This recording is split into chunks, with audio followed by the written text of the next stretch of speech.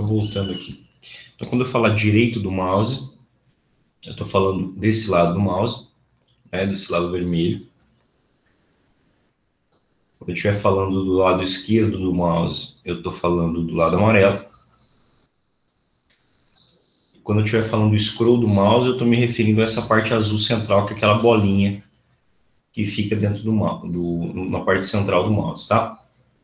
Apesar de que ela não vai ter muita função no SESG, tá? Porque o SESG é um programinha antigo. Então ele não ele não funciona PUM, não funciona PAN, não funciona o zoom e não funciona também o Ctrl Z. Então no SESG não tem Ctrl Z. Se fizer um trecho dentro dele, você não consegue traçar. É, então eu vou deixar isso aqui aqui, caso eu precise. Tá, o que é direita e esquerda do mouse. Se alguém quiser me acompanhar, fica à vontade. E aí eu vou lá no AutoCAD. Lembrando, é, é imprescindível que vocês já tenham conhecimento de rede de esgoto, tá? Senão não vai conseguir usar o. Eu estou partindo da premissa de que você já tem esse conhecimento. É, continuando aqui, ó. Essa aqui é uma planta de AutoCAD é, quem está usando o QS tem que ter utilizado o, o AutoCAD Map, né? Lembrando que ele tem versão educacional e tudo mais. Se alguém tiver com problema de gerar a versão DXF, me avisa. Lembrando que é na versão DXF que vocês vão conseguir trabalhar dentro do é, dentro do AutoCAD, tá?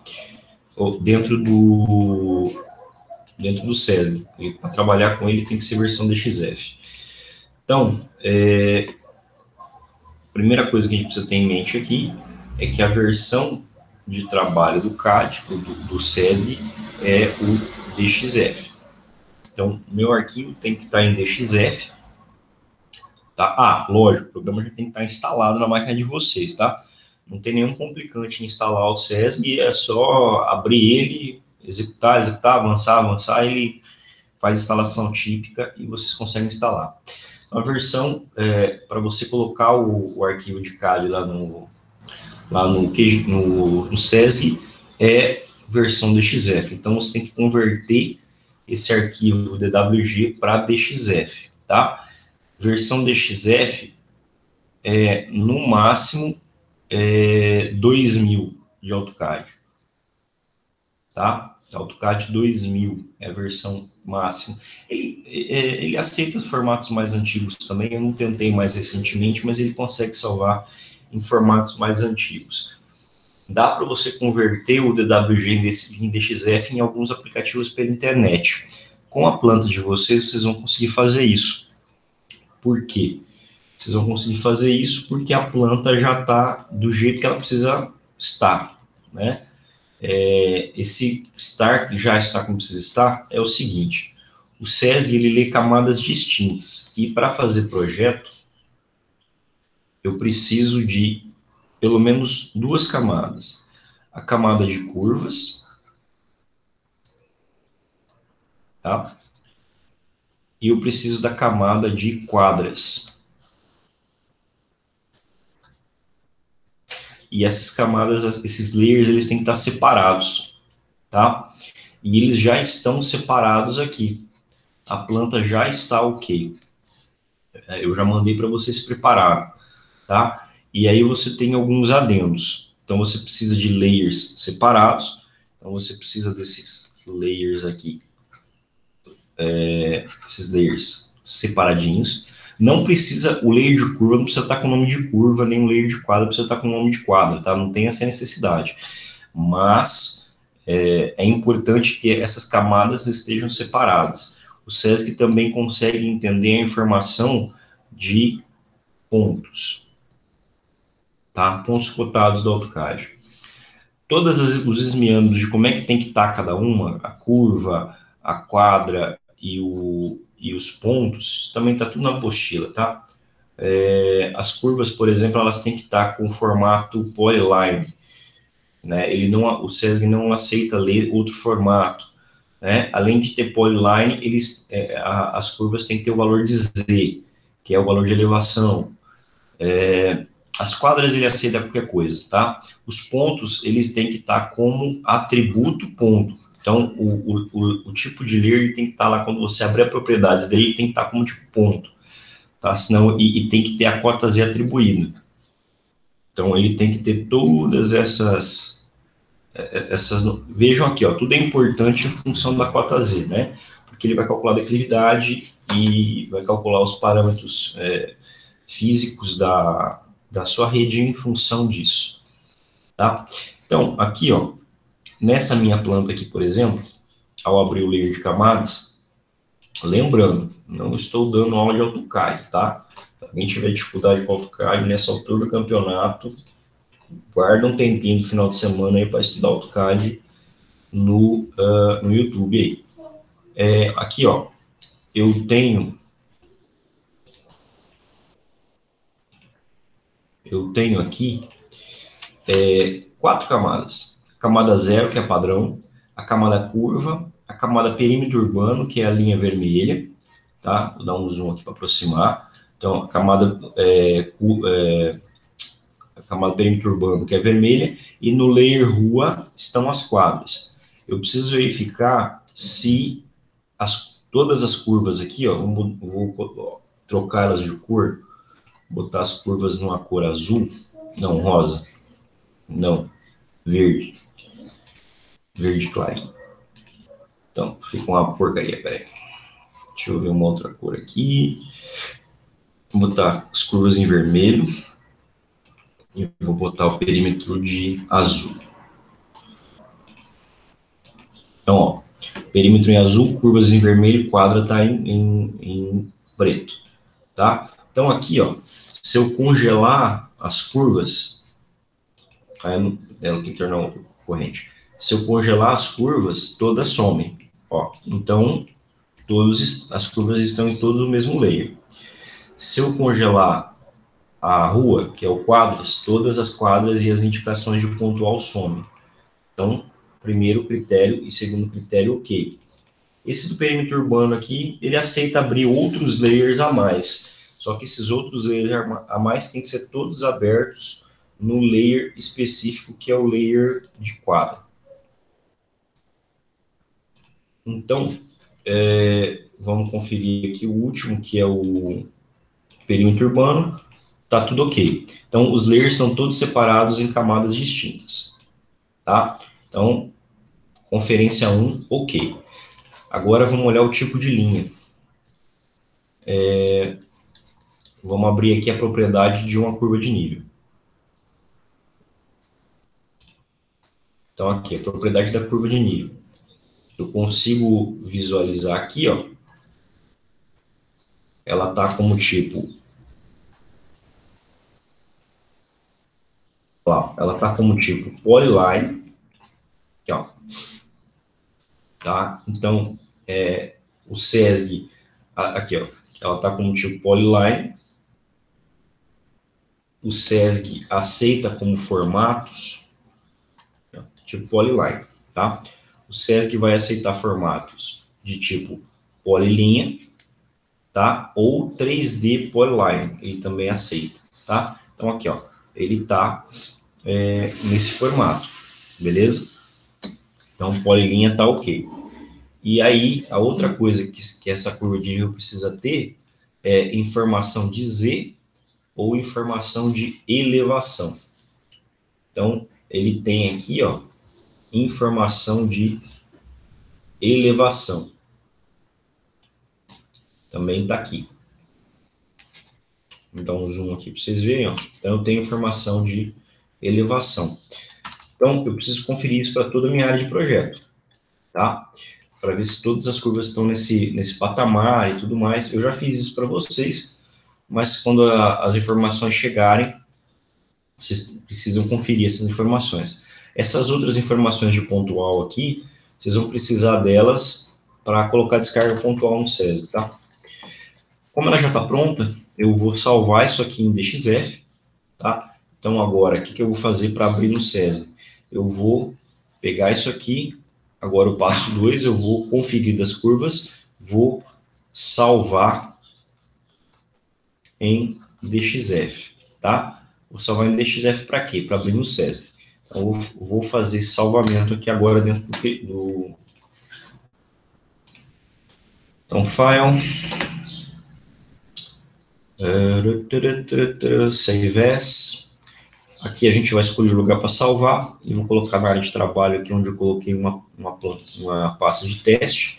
E aqui vocês vão escolher o formato, tá? É, escolham a versão mais antiga que vocês conseguirem. Eu vou tentar aqui esse DXF 2000, tá? Para salvar nela na minha pasta nova. E vou dar um save aqui para ele salvar. Pronto, salvou. Vou lá para o Sesc. Fechar isso aqui. É, quero salvar, mantém, não quero manter salvado em DXF, então pode fechar. Fechei aqui, é importante fechar a planta, tá? Antes de abrir lá no SESG, tá? Gerou o DXF, então, gerou, é, terminou de gerar o, o DXF, fecha, tá? Fechar a planta. Não deixa aberta no CAD.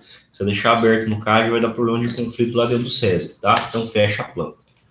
É, vou deixar o AutoCAD aberto, que eu posso precisar dele de novo e vou no SESG. Tá? Antes de abrir o SESG instalado, é importante que vocês façam duas configurações. Então, no atalho do SESG, professor, não estou achando o atalho do SESG na minha área de trabalho. Procura aqui no pesquisar, se você for Windows 10, alguma coisa assim, vai estar aqui o, o atalho do SESG, e aí vocês podem clicar e arrastar o atalho para de trabalho, tá? É, eu já abri sem querer aqui, mas não é para abrir não seleciona um atalho do SESG na área de trabalho de vocês, tá? Direito do mouse, isso está repetindo, tudo isso está na apostila, tá? É, vocês vão aqui em propriedades. Aqui em propriedades nós precisamos fazer duas configurações antes de rodar o programa, tá? Uh, primeira, compatibilidade, tá? O SESG, ele é um programa antigo, ele é dos anos 2000, então para rodar ele, ele tem que estar tá em modo de compatibilidade com o Windows XP, tá? Então eu vou em compatibilidade no atalho, tá? Eu vou em compatibilidade e vou em compatibilidade e marco a opção executar este programa em modo de compatibilidade. Pode ser qualquer modo de compatibilidade com o Windows XP, qualquer um, tá? Ele vai dar erro de processamento se você não fizer essa configuração nele, tá? Então tem que configurar ele para executar com modo de compatibilidade. Essa é a primeira configuração, tá? É, posto isso, nós precisamos fazer uma outra coisa. Então, configura ele como modo de compatibilidade. Depois, a gente precisa marcar é, para executar esse é, executar esse programa com é, com privilégio de usuário, tá? Com privilégio de, de administrador. Então, essa outra opção aqui é de extrema. Opa, isso aqui não é, essa outra opção aqui é de extrema relevância, tá? Então, eu preciso executar o programa com privilégio de administrador, tá? Então, eu tenho que executar ele com este privilégio aqui, ó. Executar programa como administrador. Essa opção tem que estar marcada. Então, são essas duas. Executar este programa como administrador e executar o programa em modo de compatibilidade. Tá? Isso no atalho do programa, depois que você é, depois que você fizer a instalação. Não pulem as videoaulas. Vocês têm pulado as videoaulas e têm perguntado coisas que estão nos passos das videoaulas. Então, preste atenção nas nossas gravações, tá? Então, são essas duas opções que nós precisamos marcar executar o programa com compatibilidade e escolher um método XP aqui, tá? Usualmente eu uso o Service Pack 2 e marcar executar como administrador. Fez essas duas opções na aba compatibilidade, aplicar e OK, tá? Feito isso, agora o, o programa não vai dar erro na hora que você tentar dimensionar. Agora é só vir aqui e abrir o atalho. É, esse programa ele foi desenvolvido pela Fundação Tecnológica, aqui ó, ele foi, ele foi desenvolvido pela FCTH, tá? Ele só, esse programa, essa versão, ele foi patrocinado, tá? Pela Tigre, tá? E por isso, por essa razão, ele só dimensiona redes de PVC, tá? De PVC e de ferro fundido da Tigre. Mas ele é, ele é focado para materiais plásticos. Então, ele, ele foi desenvolvido pela, pela FCTH, mas ele faz o dimensionamento só de materiais plásticos é, por conta do patrocínio da Tigre. Ele foi oferecido gratuitamente pela Tigre lá nos anos 2001 até 2000 é, de 2001 até 2002, 2003, tá? É, e até 2007 a FCTH dava suporte na versão desse programa paga, que era uma versão que ele só executava com uma hard lock. É uma, é uma pendrive que o programa só iniciava com a pendrive. É a versão paga do, do SESG, ele só roda com uh, ele só ele consegue simular outros materiais que não PVC. Então a versão paga dele ele roda concreto, ele roda cerâmico e eu consigo colocar outros materiais. Então, se eu descobrir um material super liso, menos rugoso, novo, eu consigo utilizar, tá? Ele foi é, bolado para ser dimensionado de acordo com as normas brasileiras, tá? Então, este programa, ele dimensiona a, as redes de esgoto considerando a 9649, são os parâmetros de rede de esgoto, tá? Então, eu configuro aqui todos os parâmetros da, da, da NBR 9648 e 9649, tá? Especificamente 9649, que são os parâmetros de cálculo. Se não sabe o que eu estou falando, volta na apostila lá na parte de rede de esgoto ou nas nossas aulas gravadas, tá tudo lá, tá? O que, é parâmetro mínimo, o que, é parâmetro de cálculo, o que, é critério de autolimpeza, tá? e seguindo os parâmetros hidráulicos. E para dimensionamento, ele permite usar many e ele permite usar a fórmula universal. Tá? Para calcular fator hidráulico, raio hidráulico, a é, velocidade, ele vai, você pode escolher entre estas duas equações, tá? Manning ou a equação universal. Aí fica a critério do usuário, do projetista, tá? Então, vamos lá. Então, aqui dentro do SESG, eh, eu tenho uma série de ferramentas, não vou ficar abordando todas elas, tá, tá tudo na apostila aí, vocês precisam é, dar uma olhadinha, mas aqui, ó, a gente vai aprender a importar aquela planta aqui para dentro. Então, é, aqui na aba em arquivos eu tenho várias opções, mas inclusive ler, esse ler eu já abro um, um exemplo pronto. Ele, por padrão, quando eu vou aqui em ler, arquivo, ler, ele já abre a pasta do programa, que é a pasta de dados, tá? Aqui eu tenho um arquivo de exemplo. Se vocês quiserem abrir ele e ver, aqui eu tenho um exemplo de rede que vem default no SESI, tá? Aqui já está quadra aberta, curva aberta e tal. Então, tem um, um exemplozinho. É, eu vou aqui abrir a minha planta nova, tá? Então, lembra que eu falei para vocês que nós temos... É, nós temos três layers de interesse no, no César. Então, olha aqui, ó. Eu tenho topografia, ruas e pontos cotados. Esses são os três layers de interesse. Aqui no layer topografia, eu vou abrir as curvas de nível, tá? No layer de ruas, eu vou abrir todos os outros, vou de novo, tá? No layer topografia, eu vou abrir as curvas de nível, tá? Tem que estar naquele formato de polyline, 3D polyline, tem que ter cota Z. Se não, cota Z ou elevação. Se não tiver, ele vai abrir a curva ou não vai abrir a curva, é, ou abre errado. Layer de ruas, e aqui no layer de ruas, o que é que eu tenho? No layer de ruas, eu tenho, eu vou abrir todos os outros layers que não são topografia e que eu queira ver na minha planta. Quadra, interferência, interferência, o que é interferência? Rede de esgoto, é, rede de esgoto existente, rede de água, telefonia, árvore, é, qualquer, outra, qualquer outra informação que seja relevante no meu traçado de projeto. E o último aqui que a gente não vai usar agora é o layer de pontos cotados, tá? Bom, vamos abrir primeiro a topografia. Vou buscar, ele abre por padrão a pasta dados. Eu vou lá na área de trabalho e vou buscar a minha planta, que é a planta do grupo que eu gerei em DXF. Marco ela e peço para abrir. Aqui, ó, ele abre todas as camadas marcadas, tá? Eu estou no layer de topografia. Como eu estou no layer de topografia, eu quero abrir, eu vou desmarcar todos, marco aqui desmarcar todos, e vou abrir o layer de curvas, tá? Foi o que eu marquei, e dou, marco só o layer de curvas e dou OK. Tá? Ele vai me dar algumas informações aqui de coordenadas, né? Que são os limites de coordenadas dos meus dados, e qual é o intervalo de cotas do, do, dos meus dados, tá? Vou dar OK.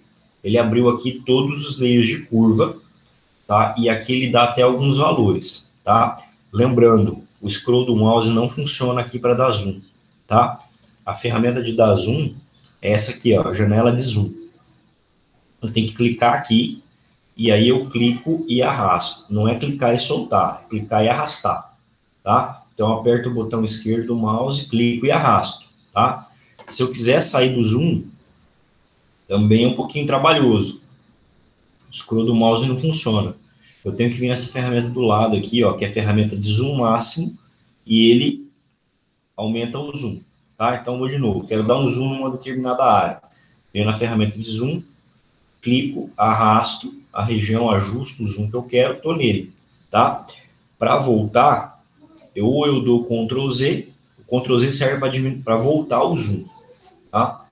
Então, para voltar o zoom aqui, ó, para voltar o zoom, eu posso é, vir aqui nessa ferramenta, ou para reduzir o zoom, eu posso apertar Ctrl mais Z, tá? Ctrl Z, ele, ele, ele, não é que ele diminui o zoom, né? Ele volta ao zoom anterior, diminui o zoom, tá? É, não é Ctrl E, não, é Ctrl Z, tá? Ou ou Ctrl Z, ou o comandinho aqui de voltar ao zoom anterior. Então, eu volto no zoom anterior. Agora, eu vou abrir o ler de quadras. Que é, vou aqui em arquivo, ler DXF de ruas. Então, eu vou aqui na planta do grupo, é, planta grupo 2, abro ela, desmarco tudo e abro só o layer que eu quero que apareça nessa parte de camada de ruas. Então, eu quero rua e perímetro urbano. Peço para abrir. Está aqui a minha área de projeto, tá? É, eu posso configurar a cor das coisas, é, posso fazer várias edições aqui. É, normalmente aqui eu vou em edições, opções, área de trabalho, opções, área de trabalho. Aqui eu posso configurar o, o limite da minha área de trabalho, norte, sul, leste, oeste, e o espaçamento desses grids na parte de área de trabalho, tá? E aqui na parte de exibição de DXF, lá em opções exibição de DXF, eu posso mudar as cores, tá? Por exemplo, eu quero a topografia com as curvas principais em vermelho e as secundárias eu quero em verde, por exemplo. E eu quero ver as cotas, o valor das cotas de metro em metro. É só marcar isso aqui e dar OK ele faz alteração, tá? Ele botou aqui, é, ele conseguiu colocar aqui, ó, o valor de todas as cotas. Então, é, se não conseguir ver aí que está bem pequenininho, mas ele coloca o valor aqui, ó, ele coloca o valor de todas as curvas de nível. Ele elenca aqui os valores. Quando eu marco aquela opção.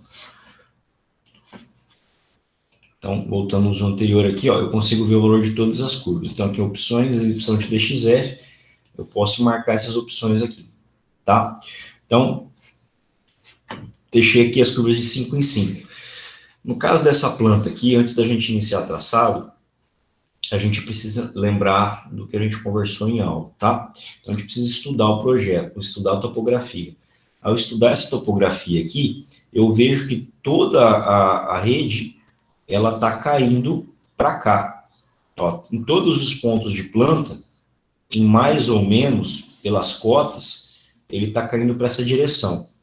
Então, precisa fazer um estudo prévio de traçado para ver onde é que vocês vão. Então, todos os pontos de curva, ó, eles invariavelmente levam para essa região.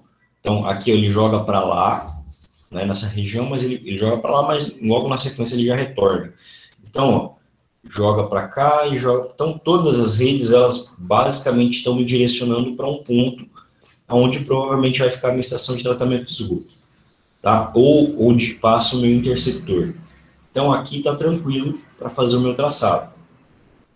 Então, todas as minhas, as minhas redes vão ter que ser para essa direção, né? Toda a minha rede coletora, ela vai ter que vir para essa região, a região da ET, da elevatória, ou, da, ou do coletor, ela vai ter que vir direcionada para cá, pela topografia. Topografia que me determina isso, tá? É preciso dar uma, uma estudada prévia na topografia de cada um. Então, aqui, eu já estou é, em condições de iniciar o meu traçado, tá? O meu traçado, a minha rede, ela sempre deve ser feita, qualquer software de dimensionamento de esgoto, tá? Não é só o SESG, não, qualquer um. O traçado, ele, o início do traçado, ele é de montante. Minha caneta tá uma bela uma bosta. É sempre de montante, tá? Para é, para jusante. Esse aqui é o meu sentido de traçado, tá? Eu sempre começo de cima para baixo, tá? Por quê? Ao iniciar de montante para jusante, ele me indica o sentido de fluxo, tá? Então, se eu fizer de jusante para montante, eu estou indicando que o fluxo é de baixo para cima, tá? E o fluxo correto é de cima para baixo, ou seja, de montante para jusante. Tá? Então, é assim que eu inicio o traçado. Fora isso, é, lembrando aqui o seguinte, tá? Estou é, colocando aqui o meu mouse, tá? E vou diminuir aqui um pouquinho a minha, meu, meu César. Ele é meio ruimzinho de fazer isso. A realidade nem permite. Então, aqui, ó, para iniciar o traçado, para iniciar uma rede, eu clico no botão direito do mouse. direito, tá? Mouse para canhoto. É um clico na direita, tá? Para terminar um traçado, é, para é, começar um traçado direito. Conforme eu, cada clique com o botão esquerdo, a partir daí, ele é um órgão acessório. Então, eu inicio, eu inicio o traçado com direito, Onde eu clicar, ele vai criar um órgão acessório, e aí eu vou clicando, com, a partir daí eu vou clicando com o botão esquerdo. Cada clique que eu der com o esquerdo é um órgão acessório que ele vai gerar. A hora que eu quiser terminar de, de parar de traçar o coletor, eu vou clicar, para terminar um coletor, eu clico com o direito. Aí ele termina o traçado. Tá? Vamos lá. Então, eu quero, vou começar de montante para jusante. Aqui vou fazer rede simples na rua, tá? Então, vamos lá. É, eu não preciso começar a rede logo na esquina. Por que, que eu não preciso começar a rede logo na esquina? Esse mapa aqui não me dá as informações, tá? Mas eu vou mostrar um negócio aqui para vocês do Google Earth. E aí a gente vai já discutir. Então, é, vamos imaginar aqui uma, uma região de Dourados, em que eu vou traçar a rede coletora. Tá? Então, tá aqui, vou traçar é, a minha rede coletora aqui, tá? Então, eu vou começar minha rede coletora aqui, eu não preciso começar, se eu estou começando a rede, a rede é, é, logo na parte inicial, aqui a gente está bem no meio de uma quadra, então aqui não vai servir, deixa eu pegar uma rede bem de começo aqui aqui. Então, Se bem que eu já estou no final, né? Mas vai lá. Então, vou fazer rede aqui, tá? É, eu não preciso começar logo no cruzamento. Por exemplo, aqui, ó, essa quadra está vazia. Essa quadra está vazia, eu não, preciso, eu não precisaria executar a rede para atender ela, mas aqui tem casa. Então, eu, eu sempre posso começar a rede. Não tá bom também, não. Deixa eu ver um outro lugar. Acho que aqui bem no comecinho. Aqui, ó. Então, olha lá. Vou começar a rede aqui, tá? Então, ó, eu, eu aqui tem uma rua, mas eu posso. Aqui as frentes da casa estão para. As frentes dessas casas estão para essa rua. Então, eu posso começar a rede aqui. Tá? Aí vou fazendo o meu caminho. Posso ir traçando ela para cá. Tracei. Olha aqui na esquina, ó. Essas casas aqui, elas estão com a frente para essa rua, tá? Então, a priori, eu não precisaria traçar a rede nesse lado, nessa lateral, tá? E eu só preciso, imaginando que nessa casa aqui, por exemplo, a, dependendo do levantamento topográfico, a fossa dessa casa não vai estar tá aqui na esquina, ela vai estar tá na frente da casa, tá? Ela vai estar tá por aqui, ó, ela vai estar tá por esse limite da casa. Então, não precisaria começar uma rede aqui, para ir para lá, ó. Então, eu poderia começar a rede aqui assim, ó, para pegar a, a fossa da primeira casa.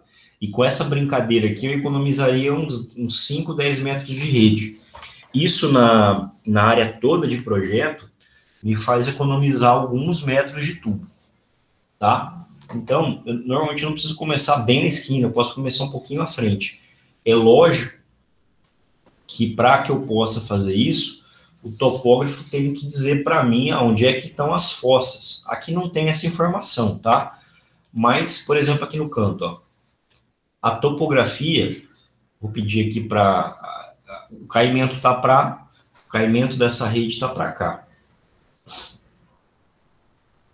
O caimento tá para lá, para cá, para cá. Então o caimento está nessa direção, tá? Então o caimento estando nessas direções, a fossa não vai estar tá para a direita, ele vai estar tá para a esquerda. Então, por exemplo, aqui, ó, eu posso começar uma rede um pouquinho afastada aqui, lembrando, começar a rede ao esquerdo do mouse.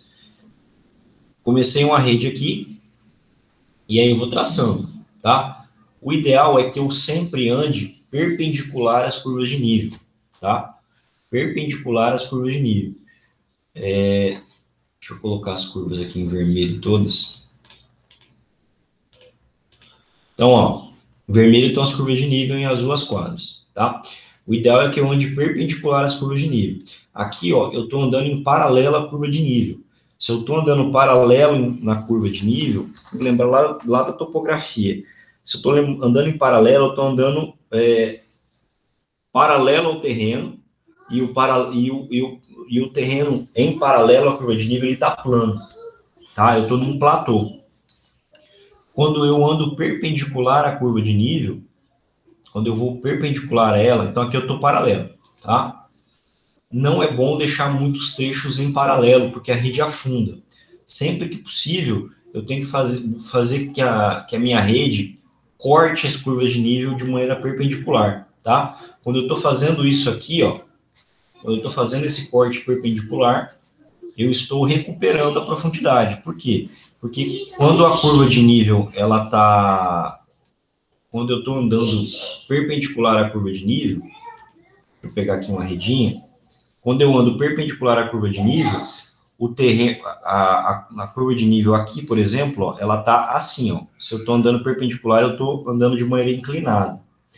Essa rede aqui, ó, que está paralela, em relação ao terreno, ela tá, ela tá mais plana, tá? A declividade de terreno aqui, quando eu ando paralelo à curva de nível, é menor. Quando eu vou perpendicular à curva de nível, a declividade é maior. Basta você lembrar da fórmula, né? Que a declividade do terreno, declividade do terreno é a, é, é a cota de montante menos a cota de jusante dividido pelo comprimento do trecho, tá? Então aqui, ó, vamos imaginar que a cota de montante jusante é a mesma, que ele tá, estou paralelo à curva de nível, tá? Então, por exemplo, se aqui for cota 100, a montante, cota 100 a jusante dividido por 50 metros, tá? A declividade é zero. Não tem declividade nenhuma. Agora, vamos imaginar aqui, ó, aqui a cota é 100, aqui a cota é 98. Aqui tem declividade, tá? Aqui não tem.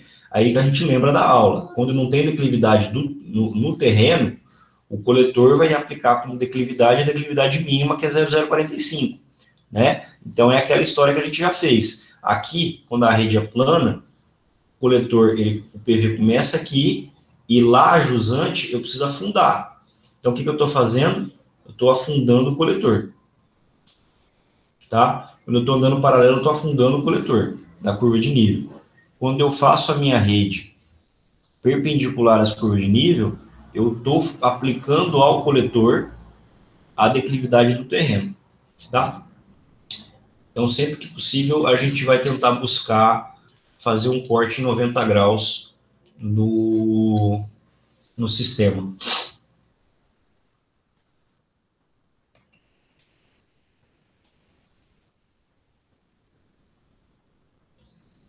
Não, Nicolau, no QESG o PV não, o, ele não insere automaticamente PV não, tá?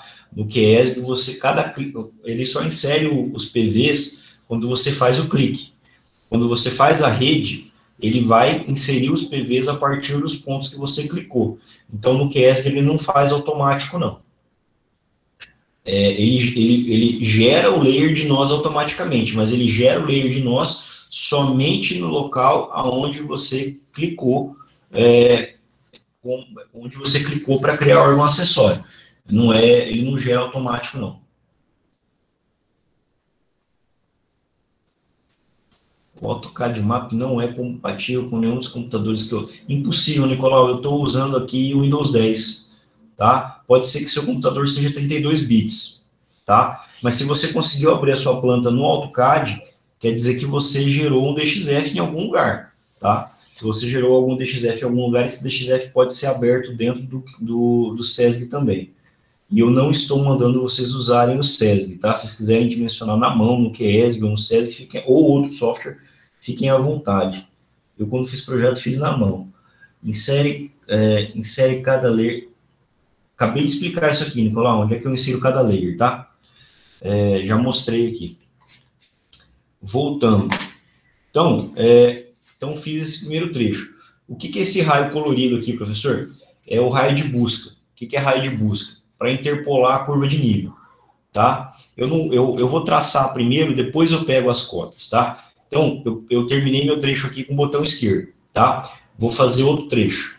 Então, é, vou começar um outro trecho aqui, lembrando lá, não precisa começar bem na esquina, não tem necessidade. Se tiver uma fossa aqui, essa fossa vai estar no final da quadra. Então, vou começar o trecho aqui, tá? Eu não consigo interligar essa rede aqui nessa, sem dar saída, tá? Então, o que, eu tenho que fazer? Não dá para fazer essa interligação. Lembrando que aqui, ó, normalmente eu faço as quadras em L. Eu posso é, fazer os meus, os meus traçados da maneira que eu quiser, tá? Fica a critério do projeto aí. O ideal é que eu tente fazer sempre perpendicular às curvas de nível. Aqui, ó, eu vou levar esse coletor até a ET, tá? Então, para continuar o traçado, eu parei de traçar aqui nesse PV. Para continuar esse traçado, eu seguro o Shift, Shift segurado, para continuar traçado, tá? Continuar para continuar o traçado em um PV. Shift mais, tá? Shift mais botão o réu. Shift mais botão esquerdo. Tá? BE, botão esquerdo. Então, para continuar um traçado, um PV que, tá, que, que eu já terminei o traçado nele, é Shift botão esquerdo. Então, seguro Shift, posiciono o mouse em cima do, do, do, do PV aqui e clico no botão esquerdo. Pronto, ele vai, ele já está habilitado para que eu faça traçado. Então, vou, vou prolongar essa rede aqui até, é, até o final lá do, do coletor. Então, vou jogar lá para o final. Aqui, ó, curva de nível, para continuar perpendicular, eu teria que virar aqui, mas eu vou até o final. E aí vou sempre tenta colocar um PV no cruzamento de rua, tá? Porque essa rua é um potencial local de receber rede. Então sempre coloco uma rede no cruzamento, tá? Então ali, ó, tô não dá para fazer curva, a rede não pode ter curva, tá? Tô fazendo a rede aqui e aí eu vou eu vou, eu não sei se eu indiquei na planta de vocês a ET, mas tentem colocar a ET no ponto mais distante possível e eu represento a ET só, por exemplo, aqui eu vou falar, minha rede está chegando aqui e aqui é a ET, tá? Terminei meu traçado. Se, essas, se, se esses raios coloridos aqui, que é o raio de busca do PV, que ele usa para interpolar e pegar a cota do, do terreno do PV a partir das curvas de nível, se ele estiver atrapalhando, você clica aqui no redesenha, que é esse R, e ele apaga essas curvas. Então, ó, aqui tracei o meu primeiro coletor, tá? O direito do mouse inicia o coletor e o esquerdo ele vai traçando. Então, fiz o meu primeiro coletor. Agora aqui, ó, eu posso, se eu quiser ligar esse coletor aqui, mesma coisa, Shift, seleciono ele aqui, clico com o botão esquerdo, e aí, ó, eu tô com o mouse posicionado fazendo arraste. Se eu clicar aqui, ó, ele finaliza o trecho, que eu dei saída para ele, tá? Quando ele indica esse xizinho vermelho aqui, ó, na... quando ele indica esses xizinhos vermelhos aqui, quer dizer que ele não pegou cota de terreno, tá? Depois a gente faz esse ajuste aqui. Então aí é só fazer os traçados. Normalmente eu gosto de fazer eles em L, aqui, ó, é, complementar as quadras em L. Então eu gosto sempre de fazer esses contornos aqui, ó, que aí eu atendo a quadra inteira e não faço rede onde não precisa, tá? Aí eu normalmente vou terminando essas áreas de projeto aqui assim, tá? Lembrando, não posso fazer curva de nível, eu não posso fazer é, rede com topografia indo do ponto mais baixo para o ponto mais alto. Esgoto não vai morrer acima, esgoto só vai morrer abaixo. Então, vai daquele estudo prévio que eu tenha feito na rede, tá? Aqui uma coisa interessante, ó. Aqui, Imagina você executar esse tipo de rede aqui na vida real. Tá? A prefeitura vai xingar você. Se eu imaginar aqui essa rede, eu tenho aqui, ó, o caimento da rua, o caimento da topografia está para lá. Tá? O caimento está para essa direção. Então, já que o caimento está nessa direção, eu sei que essa parte de cima aqui, ó, essa parte vermelha, essa parte vermelha, é a parte mais alta da rua. E a parte verde é a parte mais baixa da rua. Professor, como é que você sabe isso? Como é que eu sei isso? Topografia. Ó, o caimento está para lá. Se o caimento está para lá, a parte vermelha é a parte mais alta da rua, a parte verde é a parte mais baixa. Se eu sei disso, a, se eu estou fazendo rede de esgoto, é, rede simples, só uma rede na rua, essa rede de esgoto aqui, ela tem que estar posicionada no lado mais baixo da via. Tá? Sempre no lado mais baixo da via. Então, aqui eu sei que o lado mais baixo é esse. Como aqui também desse coletor principal, esse aqui, o lado mais baixo da rua é o lado esquerdo. Então, eu posso fazer os ajustes. É só clicar e arrastar na, na a cota. Você clicando e arrastando e botar o, o traçado lá para o lado mais, mais baixo da rua, tá? Então, vocês podem vir aqui, ó, e posicionar mais ou menos no terço mais baixo da rua, tá? Então, aqui dá para fazer esses ajustes finos, sempre jogando a rede simples no lado mais baixo da rua, tá? Então, aí é só ir traçando. Terminou de traçar a rede na área de projeto inteira, tá? Aí tem esses pontos aqui para arrumar cota, tá? Eu não preciso arrumar cota a cota. Eu posso vir aqui em, em acionar, terminei de traçar minha rede toda, na área de projeto inteira. Tem pontos aqui que estão sem cota. Eu venho aqui em acionar, é, recalcular cotas, e peço para, aqui ó, no recalcular, eu posso recalcular de todos os pontos, ou somente pontos sem cota confirmada. Quais são os pontos sem cota confirmada?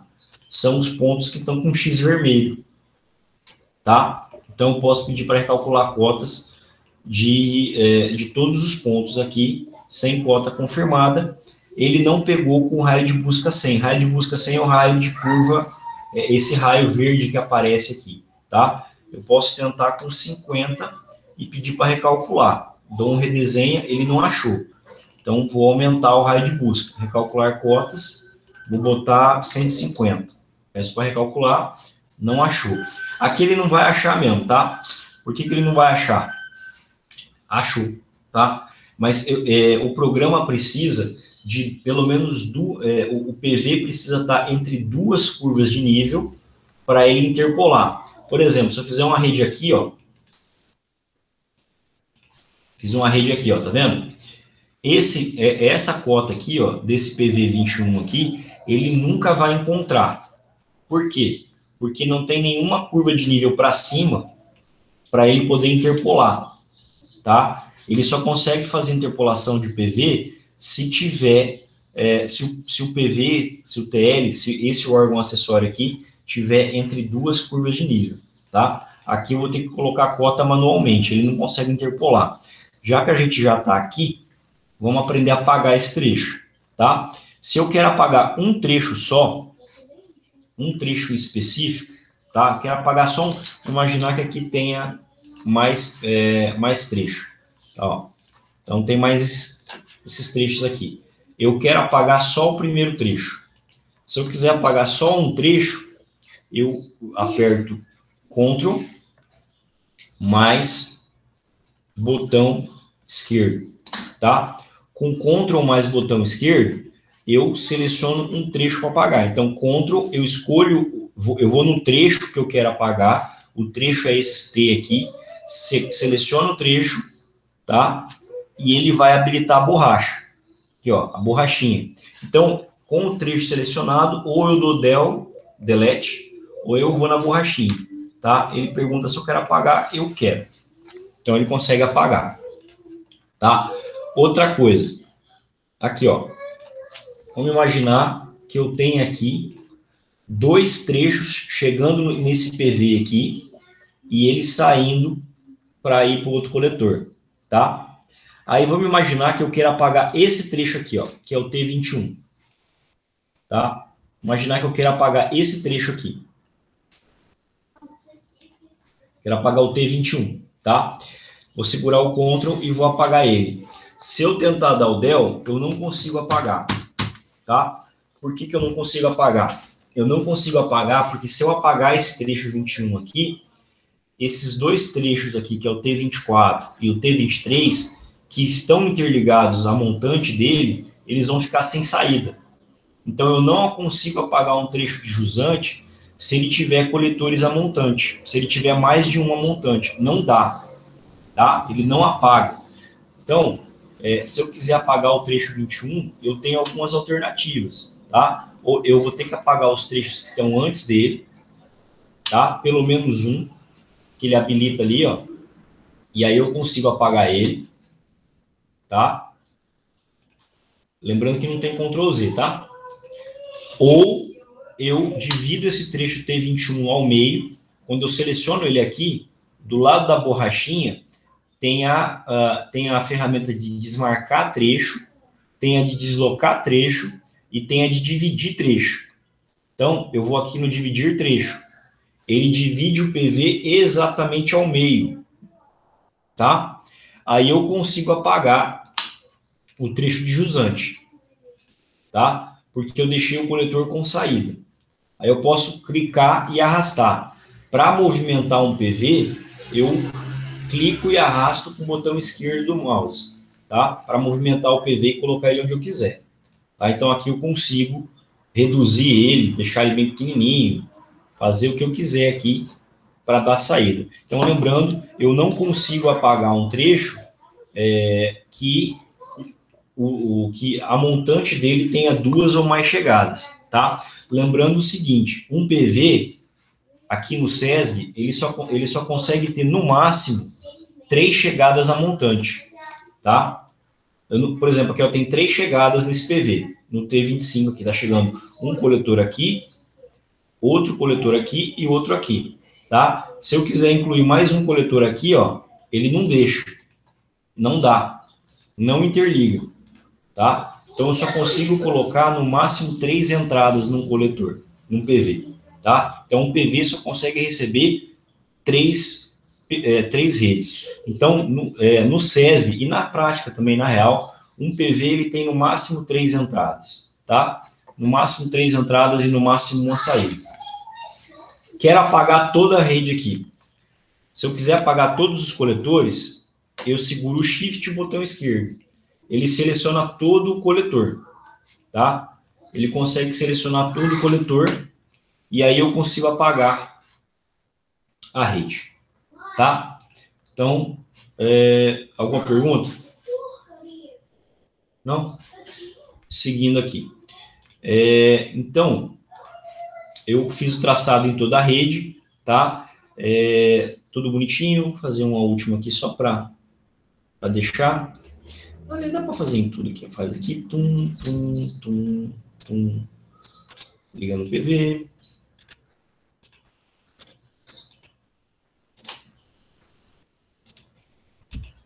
Eu acelero essa parte no vídeo lá depois.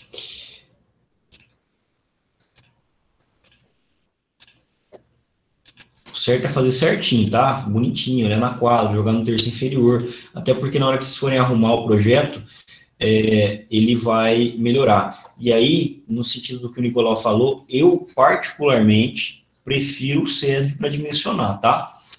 Por uma série de razões. A principal delas é que eu acho ele mais dinâmico para dimensionar. Mas aí vai do gosto do projetista. Tem projetista que prefere o Sancad. Sancad é um software, é, é um software comercial de dimensionamento de rede de esgoto em CAD, tá? Mas todo software de rede de esgoto, ele pede os parâmetros básicos de projeto, que são os parâmetros que a gente já estudou. É, per capita, população e tudo mais. Vou ligar aqui, dividir esse trecho no meio.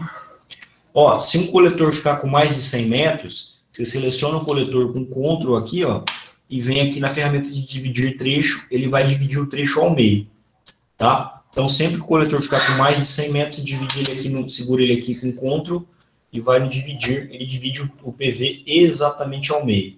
E para ajustar o, a, o traçado do coletor aqui, você segura, você, é, você posiciona o mouse em cima do, do PV e arrasta ele com o botão esquerdo aqui, ó. Clica arrastado. Aí vocês conseguem fazer o ajuste do coletor bonitinho aqui, ó sempre tentando fazer a rede no terço inferior da rua. Terço inferior da rua, tá? Então aí dá para ajustar ele bonitinho aqui, ó, todos os coletores sempre no terço inferior, se for fazer rede simples. Tá? Tentar deixar as redes sempre norte, sul, leste, oeste, tá? É, não atravessar a rua, não, não cortar ela, como assim? Não fazer uma rede assim, ó, do je desse jeito, tá? fazer uma rede assim.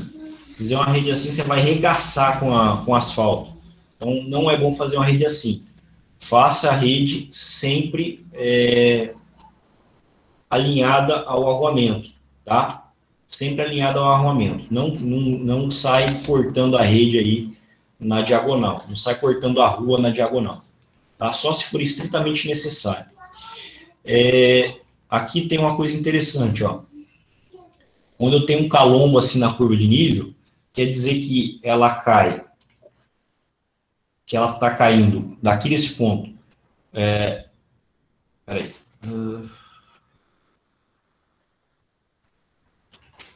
Quando eu tenho esses calombos aqui, ó, que eu tenho, eu tenho essas barrigas, é, eu, é bom sempre eu buscar dividir o fluxo, porque nessas barrigas aqui tende a afundar a rede. Então, o que, que eu falo de dividir o fluxo? Quando eu tiver essas barrigas aqui, eu venho no meio dela e jogo uma parte da rede para cá. E a outra parte da rede jogo para o outro lado. Tá?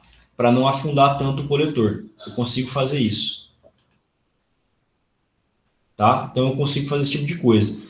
Aqui, ó, eu consigo isso aqui é um caso de exceção, tá? Eu consigo dar duas saídas para o PV quando ele é o primeiro PV do trecho. Como é que eu fiz isso aqui? Comecei uma, uma rede para cá, ó, E aqui em cima do TL, eu seguro o, o Shift e clico nele aqui, ó. Ele começa uma outra rede que eu consigo jogar para o outro lado. Então, eu tenho, nesse caso aqui, ó, eu tenho dois caimentos, para a direita e para a esquerda, tá? Só que é, aqui, ó, eu não consigo interligar uma, uma rede nesse ponto aqui, ó.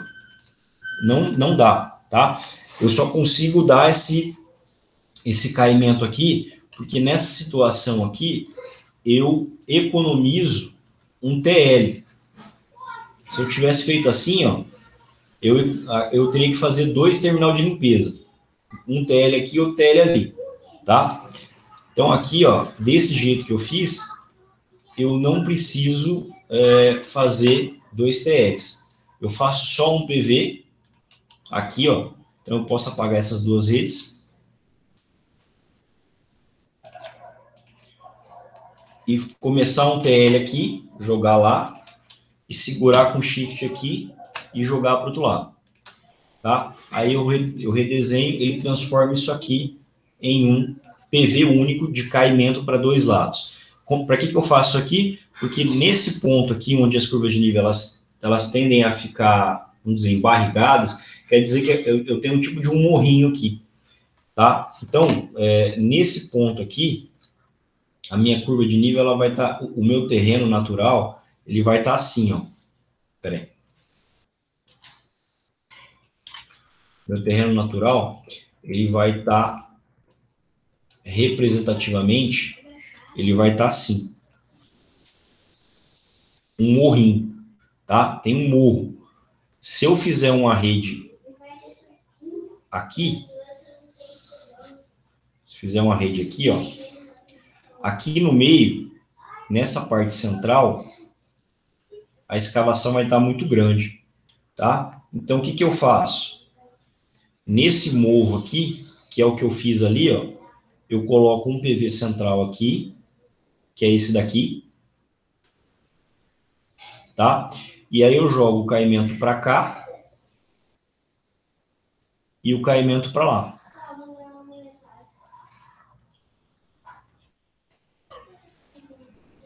tá? Eu faço um TL só, e aí eu faço um, um aqui são os PVs, né? Eu faço uma rede para lá e outra para cá. É isso que eu fiz aqui, ó. Uma rede caindo para lá e uma rede caindo para lá, no pico do morro aqui, que aí a minha rede não dá profunda e eu aproveito ao máximo a declividade do terreno, tá? Todas essas considerações que eu estou fazendo aqui valem para qualquer software de dimensionamento de esgoto, tá, gente? Pode ser o QESD, pode ser o SESB, pode ser o SANCAD, Pode ser o da, da Autodesk, que é o. É o, é o é, que é o nome? Esqueci. Vale para drenagem também, tá? Que a drenagem vocês estão estudando agora, ela, ela, o, o, dimensionamento dela é por gravidade, também como esgoto, só que lá os condutos são maiores, né? O diâmetro mínimo para drenagem, se não me engano, é 400 milímetros, não tenho certeza, tá? Então, cai para lá, cai para cá, tá? Então, é isso que eu fiz aqui nesse trecho. Entendido esse negócio que eu falei? Hein? Entendido. Seguindo, então. Essa água tá horrível. É, é, vamos lá. Então, fiz o caimento aqui. Vamos imaginar que eu tenha terminado a minha rede, tá? Aqui, ó, eu preciso terminar a rede mesmo, tá, gente? Porque, é, por exemplo, aqui, ó, eu parei o coletor ali. Eu tenho que fazer ele, todos os trechos estão interligados. Aqui, ó, nesse sentido aqui, ó, ele cai daqui para cá, tá? E aí eu posso fazer um pedacinho daqui, mas não precisa, não, porque eu estou bem na esquina mesmo. Então ele cai daqui para lá, joga aqui. Aí vocês vão, aqui é a mesma coisa, ó. Tô no pico, cai daqui para cá e daqui para cá, tá? Então sempre que tiver esses picos, mas na dúvida, na dúvida é só clicar, é, posiciona o mouse em cima do, posiciona o mouse em cima do PV aqui, ó, ele vai ficar é, em formato de mãozinha. Clique com o botão direito do mouse em cima, ele vai abrir essa aba de propriedade. Aqui na aba de propriedade, ele dá a informação da cota do terreno. Aqui, ó. Então, vocês conseguem ver a cota do terreno. Então, aqui onde eu cliquei, a cota é 488,43. Aqui embaixo é 487 e é, 90. Então, ele está caindo aqui para cá, tá? Então, esse é o sentido mesmo. Né? Agora vamos olhar aqui, ó. Aqui é 4884, aqui no 50 é 487. Então tá certo que eu estou fazendo o traçado, tá? Então ele não vai é, escavar em demasia. E aí vai fazendo os outros, tá? É, eu não vou terminar tudo aqui, não, vai demorar um pouquinho. Aqui não, ó, cuidado com isso aqui, ó. Ó, não terminou a rede, ó, tá vendo? Ele só termina o traçado quando ele interliga no, em outro PV. Quando eu clico aqui, ó, ele termina, aí o, a, o traçado fica livre, tá? Então, terminei de traçar, eu não terminei aqui, mas a gente vai em, aqui, ó, eu brinco de dar o play, a gente vai em cálculos. Então, terminei de traçar rede na, na área inteira, eu vou aqui em cálculos, clico aqui. Ele vai me informar que eu só consigo dimensionar a rede com, é, com material plástico, porque essa, esse software aqui foi patrocinado pela TIG, tá? Então, sim, é isso mesmo, cara. É o que tem para hoje. Aqui, ó, tal qual como o QESG, tal qual qualquer software de dimensionamento, ele vai pedir parâmetros básicos de projeto, tá? E aí, pedindo os parâmetros básicos de projeto, eu vou entrar aqui com valor de início de plano e final de plano. Não vou detalhar, porque a gente já discutiu isso ao extremo. População inicial, é, vazão per capita, coeficiente, K, é, coeficiente de retorno, K2. Por que, que inicia com K2 em início de plano? Ninguém discutiu isso. Critério de limpeza, final de plano, população de final de plano, consumo efetivo de final de plano, coeficiente de retorno de final de plano, K1 e K2, tá? No caso de vocês, população inicial e final é, é, é igual, tá? É, por que, que é igual? Porque é igual, considerar que é um loteamento fechado, tá? Vai ser igual para vocês. É, aí entra com os parâmetros de projeto de norma aqui e os coeficientes que eu passei para vocês, tá? Essa primeira aba base. A segunda aba é a aba de dados gerais. Aqui entram os parâmetros de cálculo para critério de autolimpeza tá? Então, são os valores de norma. Ele já vem com alguns padrões default. Então, vazão mínima, 1,5, isso não se discute. Diâmetro mínimo, pela norma, é 100, tá? A não ser que a companhia de saneamento fale para vocês outro valor. Taxa de infiltração, já passei para vocês, acho que é 0,08 litros por segundo por quilômetro. Recobrimento mínimo, a rede está na rua, 0,90. Se ela estiver na calçada, 0,60. Profundidade máxima, normalmente de projeto, 4,5 metros e meio mesmo, tá? É, o ideal é vocês tentarem fazer um teste com 4 metros. Ainda mais nessa minha rede aqui, que é uma rede boa, que todo o caimento joga para um ponto em específico. Então não tem muito porquê a rede aqui no meu traçado ser maior que 4 metros e meio. Por quê, professor? Porque toda a topografia joga para um ponto em específico, tá? Como a gente fez na análise inicial. Então, se a topografia é favorável, não, não há porquê a profundidade ser maior do que isso mas isso vai, vai, vai depender da geomorfologia do seu terreno. Tensão trativa 1 pascal, velocidade máxima 5, norma, altura do degrau. Aqui pode deixar padrão, degrau e, é, e degrau, altura mínima e degrau, altura máxima. O que, que é isso aqui? É, isso aqui é o seguinte, é, quando eu tenho um, um, um coletor, que está o PV, tá? Se essa rede estiver chegando aqui, se, se tiver um PV, tiver uma rede coletora aqui, chegando com até, ali no caso, com até 65 centímetros, tá? Até 0,65, o programa entende que você, você vai deixar o esgoto cair aqui em queda livre.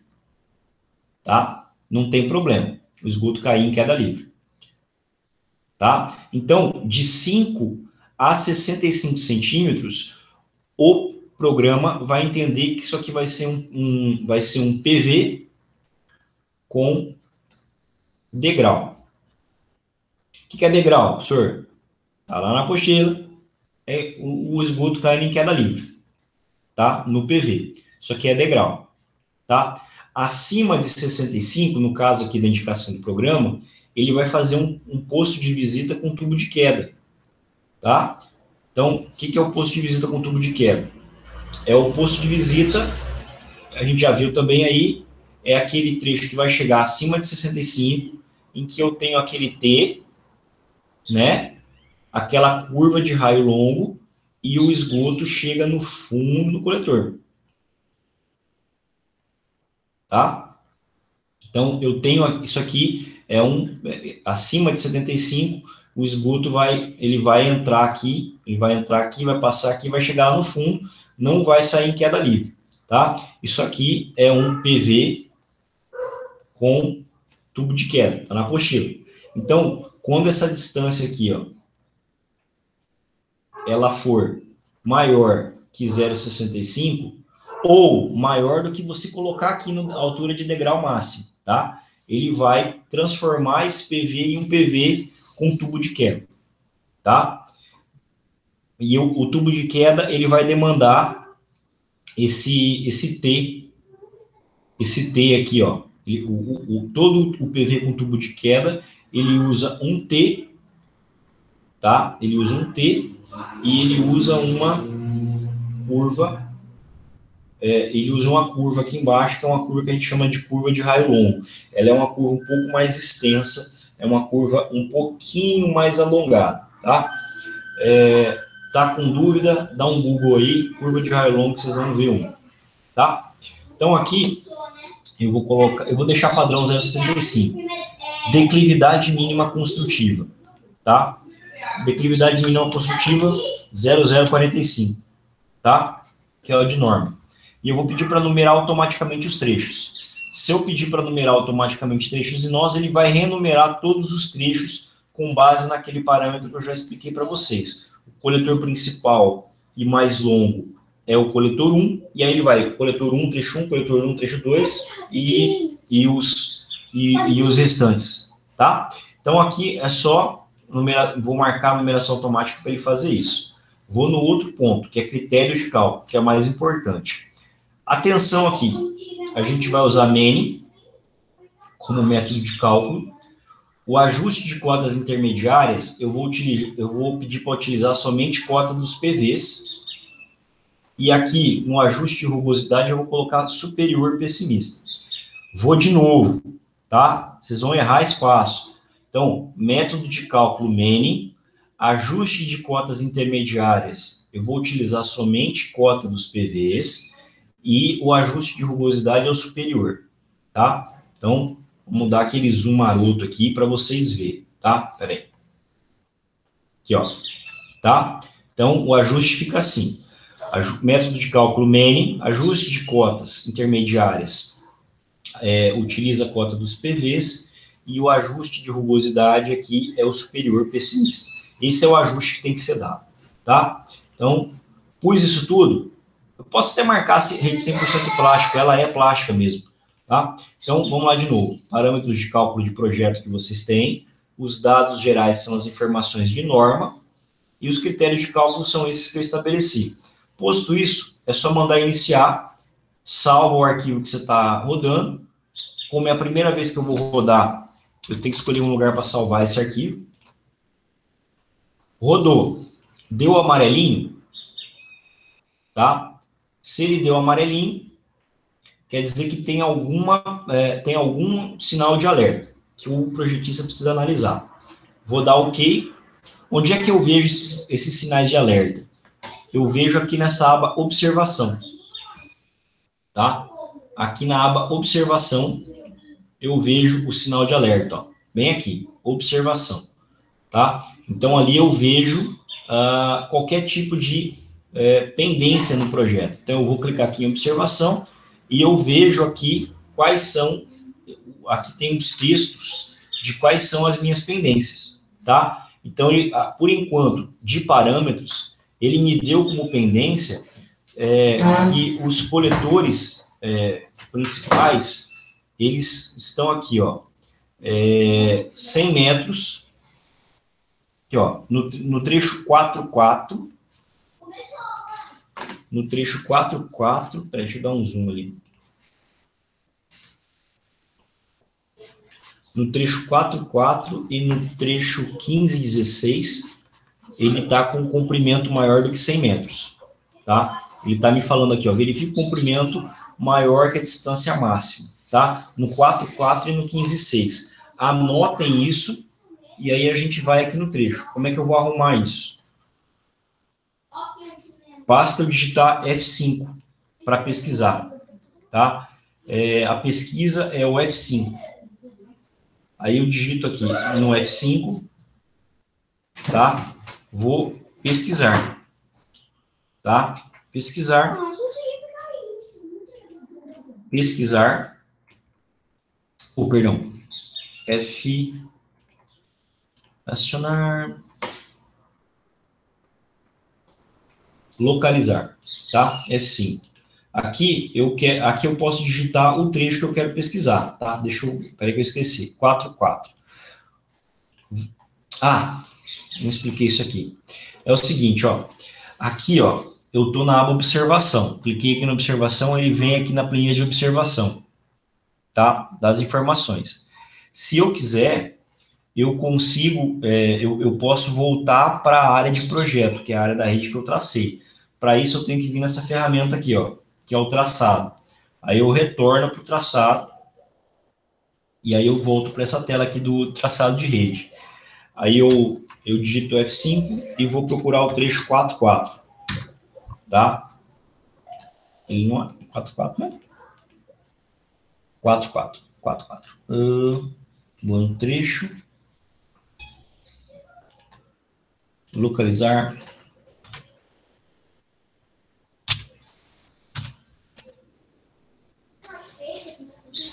Aqui, ó, ele marca com essa circunferência rosinha aonde está o trecho 44, tá? Então, ele está maior do que o comprimento. Então, a gente vai analisar esse problema aqui. Então, o botão direito do mouse em cima do arquivo, o, o traçado, o coletor está com 130 metros, ó.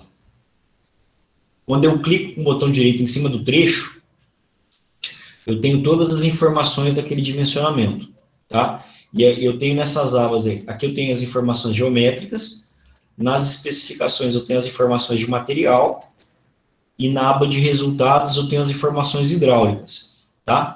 Como, por exemplo, a velocidade, a, a lâmina e o arraste do trecho, tá? É por isso que eu prefiro o SESI. Eu acho mais dinâmico para você acessar os resultados de um determinado trecho, eu acho mais fácil por aqui, tá? Mas aí também gosto do freguês. Então aqui, ó, comprimento do trecho tá? É, tá maior. E ele tá com 130 metros. Já que ele tá com 130 metros, se eu dividir ele no meio, ele vai ficar com 2,75. Então, é só 2,65. É só selecionar aqui o trecho com CTRL e dividir ele ao meio. Tá? CTRL, CTRL e ferramenta de dividir trecho. Dividir ele ao meio, tá? O próximo que estava com problema ah, ele fechou. Por que, que ele fechou? Ele fechou porque eu não salvei aquela alteração que eu fiz, tá? Ele é rebelde. Mas eu salvei o que eu fiz antes, né? Então não esqueça de salvar. Então, Ctrl, divide o trecho ao meio, tá? E pega a cota dele. E agora eu vou para o próximo. É, o próximo era o 13 qual que era? 13 o quê? 13, 6? F5. 13, 6. Ah, tem que aumentar o zoom. Deixa eu rodar de novo aqui. Toda hora que vocês forem rodar de novo, tem que voltar aqui em critérios de cálculo e marcar menu, tá? E numeração automática de, de nós. Toda vez que eu altero alguma coisa na rede, eu tenho que remarcar a numeração de nós. É o trecho 15.6 que eu tenho que arrumar ainda. F5, 15.6, está aqui embaixo. Seleciono ele, divido ao meio, calculo a cota, redesenha, pegou a cota, mando rodar. Lembrando que aqui no, no dados, eu, a população inicial e final, a população inicial e final de toda a minha área de projeto, porque o SESG dimensiona utilizando é, o conceito de contribuição linear. É, lembra lá, ó, sempre marcar mene e sempre para renumerar o PV. Deu verdinho agora, tá? Quer dizer que todos os meus parâmetros foram atendidos. Quais parâmetros, professor? Esses parâmetros todos que eu elenquei aqui. Profundidade máxima da rede não passa de 4 metros, toda a tensão trativa na rede está maior do que 1, é, ou igual a 1, a, declividade construtiva mínima é 0,045. Todos esses parâmetros foram atendidos e a distância de, de, de trechos também foram todas atendidas, tá? É, um projeto de verdade, ele nunca vai dar verdinho, ele sempre vai dar amarelo, porque é, às vezes vai ter alguma observação que a gente precisa implantar no projeto, tá? Às vezes eu quero fixar um diâmetro, por exemplo, aqui, ó. Nesse coletor aqui, ó, no 43, a rede é 100, mas eu quero que a partir desse coletor a rede seja 150. Então, eu abro o coletor aqui, venho no diâmetro, digito o diâmetro que eu quero e fixo o diâmetro. Tá? Fixando o diâmetro, eu dou OK, mando rodar de novo, ele já não vai dar mais verdinho. Tá? Ele vai dar amarelo. Mas por que, que ele vai dar amarelo? Ele tá dizendo, ele vai dizer para mim que no trecho 4, 3, o diâmetro foi fixado pelo usuário. Ó, trecho 4, 3, diâmetro fixado pelo usuário. Isso não é necessariamente um erro, tá? É que a partir daqui, ó, todos os diâmetros, 4, 4, diâmetro 150. Então, a partir do ponto que eu fixei, os diâmetros vão sendo incrementados. Posso ter incrementado por, por algum motivo, tá? É, de repente eu, eu vim aqui no trecho e vi que a lâmina, a lâmina aqui, ó, o Y sobre D, estava em final de plano, ele estava com 50%, né? E aí eu não quero 50%, eu quero, uma, eu quero diminuir a lâmina. Para diminuir a lâmina só tem uma coisa a fazer, duas, né? Ou eu aumento a declividade do trecho, ou eu aumento o diâmetro. Então, para aumentar o diâmetro, eu venho aqui e fixo o diâmetro que eu quero. Então, se eu quero 200, eu venho aqui e coloco 200 para ele estabelecer, tá? Outra coisa, vamos imaginar o seguinte, aqui nesse ponto tem, aqui tem escola, bem aqui tem escola, tá? E a escola tem uma vazão, deixa eu arrumar essa redinha que tá feia pra caramba, aqui também, jogar para a parte mais baixa, começar aqui a rede, começar mais aqui e lá. Então, aqui nesse ponto tem a escola. Eu quero, eu, é, e, a, e a, vazão pontual dela não está lá na vazão da, da cidade. Ela é uma vazão concentrada nesse ponto. E ela vai ser, ela vai ser lançada no PV mais próximo. Tá? Então, vamos imaginar que essa escola tem uma, uma descarga pontual de meio litro por segundo. Tá? Então, eu venho no PV mais próximo, clico com o botão direito do mouse nele, e aqui no PV, tá? Não no trecho. Professor, não estou achando. Não está achando que você clicou no trecho, tá? É para clicar no PV. Direito do mouse em cima do PV, e aí aqui ele vai abrir a tela de definição do nó. Inclusive, eu posso dar nome para o nó, tá? É, vazão pontual de início de plano, tá? É aqui que eu coloco ela. Posso colocar meio para início, meio para final. Então, eu estou dizendo que nesse nó, vai chegar pontual da escola. Isso precisa estar lá no memorial descritivo, tá? É, pronto. Então, nesse nó, e essa vazão vai chegar lá na ET, porque ele vai estar lançado como pontual aqui.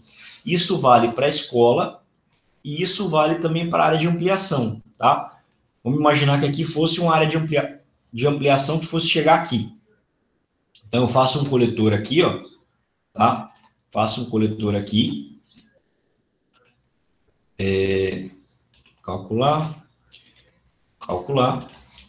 Então, vamos imaginar que aqui vai chegar uma área de expansão.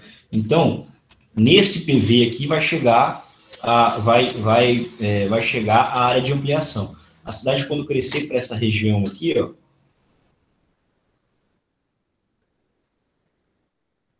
a cidade, quando crescer para essa região aqui, ó,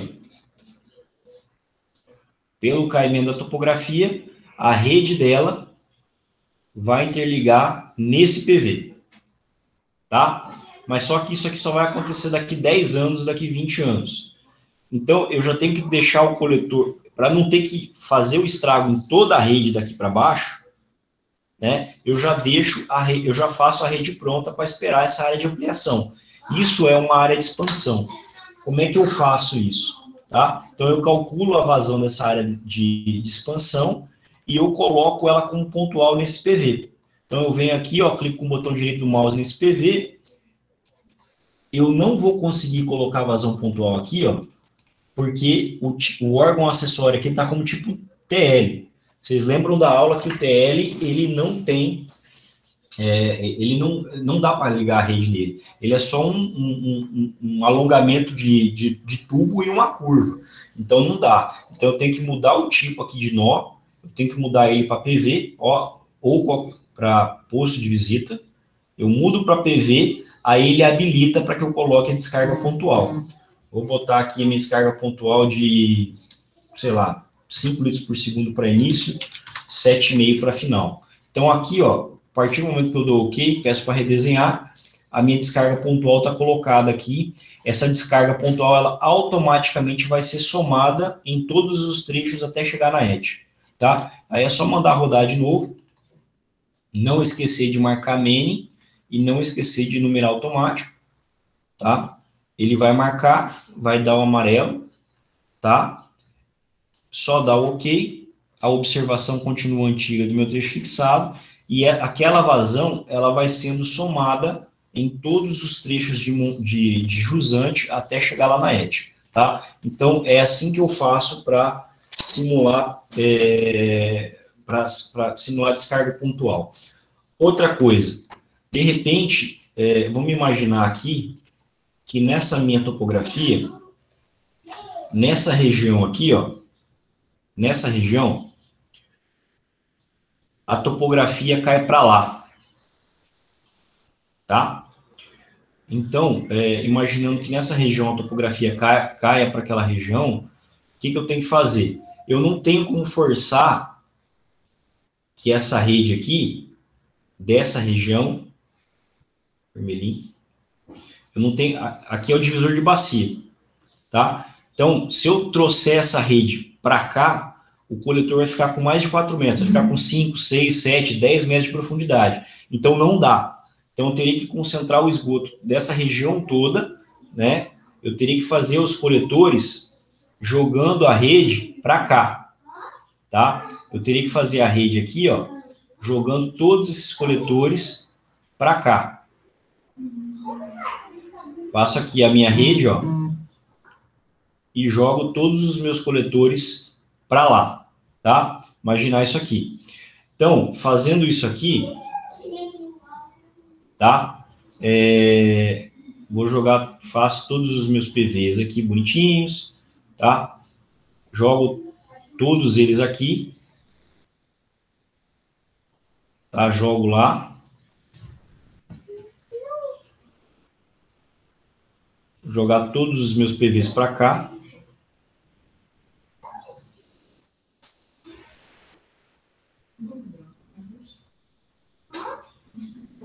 Tá, então fiz a minha rede, todos os meus PVs estão ali naquela região, tá? E agora, como é que eu faço essa vazão aqui chegar aqui na edge, tá?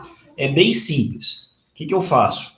Eu escolho um dos PVs dessa rede aqui para receber, simbolicamente, né? Receber a vazão dessa, dessa região aqui. Então, vamos imaginar que eu queira fazer um recalque. Aqui vai ter um elevatório, né? Aqui vai ter um elevatório, tá? E eu vou jogar o esgoto aqui, eu vou jogar ele no ponto mais próximo. Então, eu vou fazer uma linha de recalque.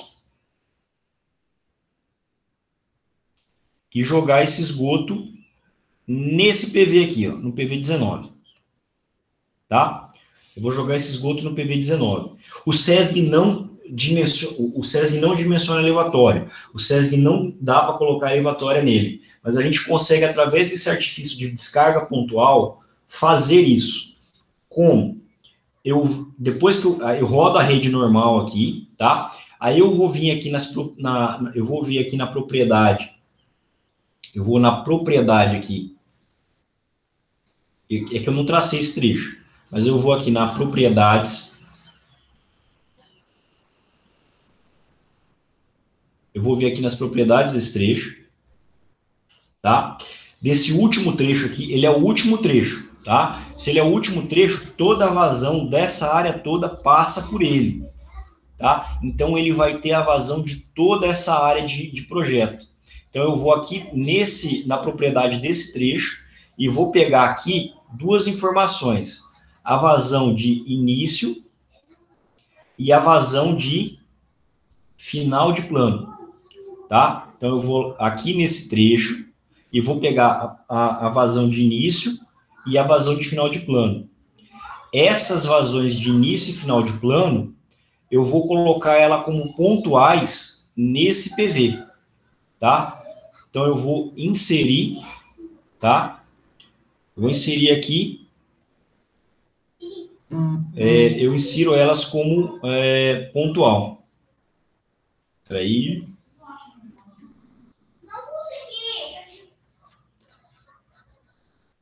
Eu insiro elas como pontual nesse PV aqui que eu quero que simbolicamente ele é, receba o recalque, tá? Então, fazendo isso, é, inserindo aquela como pontual, eu garanto que a vazão de toda a área de projeto vai chegar na ET, tá? Então eu pego a propriedade, vou na propriedade desse último trecho, depois que eu dimensiono, eu, eu rodo ele, pego a propriedade desse último trecho aqui, anoto a vazão de início e final e eu coloco ela com pontual no PV que eu defini que vai receber o recalque, tá? E aí lá no memorial descritivo eu vou dizer, o PV 19 vai receber o esgoto dessa área aqui de projeto, tá? Eu posso chamar isso aqui de bacia A e bacia B, né? Então aqui pode ser a bacia B e aqui a bacia A. Então, vou falar, todo o esgoto da bacia A, ele vai ser lançado por recalque no PV19 na bacia B, e aí ele vai por gravidade até a ET, que fica na bacia B, tá? Essa então, parte aqui... não desenha, né? Não, o SESG não desenha isso. Isso tá. tem que estar em planta no AutoCAD. Tá. No AutoCAD tem que desenhar onde é que vocês estão jogando, tá? Lá na plantinha. No AutoCAD ou no, ó, e no QESG é a mesma coisa, tá? Porque o QESG não dimensiona a elevatória. Então, se a rede está dando muito profunda, pode, pode haver a necessidade de você jogar o esgoto. É, você pode ter duas bacias na sua planta. Se você tiver duas bacias na sua planta, você tem que fazer a mesma coisa. Só que lá no QESG você vai colocar a, a, a descarga concentrada no PV. Você vai abrir a, o, o, atributo de edição lá do, do, do, do shape de, de rede e no nesse coletor aqui, no trecho de montante do coletor, você vai colocar essa vazão inicial e final desse último trecho aqui dessa área de projeto A, você vai colocar ele como descarga concentrada no trecho, tá? Isso a gente faz em qualquer software de dimensionamento de rede de esgoto, tá? É, eles não simulam transeunte hidráulico. Eu tenho softwares que dimensionam transeunte hidráulico especificamente. É, eu, por exemplo, se eu precisar calcular eficiência energética e tal, eu posso simular esse sistema de bombeamento no EPANET, se eu quiser, tá? Para calcular perda de carga, escolher qual a, a bomba ótima, os, o, o EPANET faz isso. Então, eu poderia simular essa, é, é, essa rede de recalque, poderia simular no EPANET, tá? É, as vazões vai, já vai estar tá aqui, tá? Porque aí, a, as vazões, se tiver descarga pontual aqui, e eu colocar, por exemplo, nesse PV aqui uma descarga pontual, tá? Ela já vai estar tá aqui nessa vazão desse trecho, tá? Se eu colocar uma descarga pontual nesse PV aqui, tá? É, ela já vai estar tá representada na vazão desse último trecho. Então, eu sempre vou pegar a vazão do, do último trecho aqui, que é a vazão que pega a área de toda a área de projeto. Ok? Beleza, gente? Ok. Vou avançar. Então, feito isso, aí eu botei, vou botar aqui como descarga pontual. É, sei lá, 3 para início e 5, pode ser até a mesma coisa, pode ser 3 e 3, tá? Então, o PV19 está recebendo o esgoto dessa área de projeto aqui de ampliação. Vou mandar rodar, não esquecer numeração automática e não esquecer mene e pessimista. E rede 100% plástico. Manda iniciar. Ok. Tá? Então, aqui informação, diâmetro fixado pelo usuário, que é aquele trecho que eu tenho lá.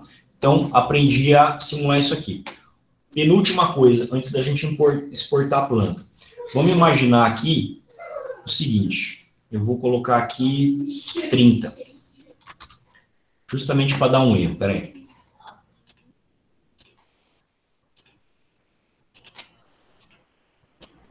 Pô, ainda não deu, rede resistente essa. Quanto que tá? Lâmina 50%. Oxi. Deixa eu aumentar aqui. Eu quero é, simular um erro aqui, que pode acontecer com vocês. Vou botar 60.